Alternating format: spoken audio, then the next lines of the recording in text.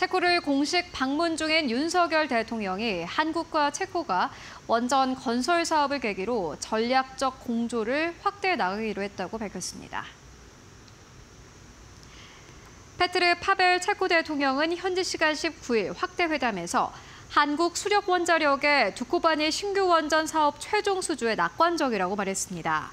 윤 대통령은 계약이 체결돼 시공하게 된다면 설계, 시공 모든 절차를 체코와 함께할 것이라며 새로운 기술 개발과 원전 인력 양성까지 협력해 원자력 동맹이 구축될 수 있다고 말했습니다. 윤 대통령은 22일까지 체코에서 경제, 교육, 인적 교류 등 협력 방안에 대해서 논의할 예정입니다.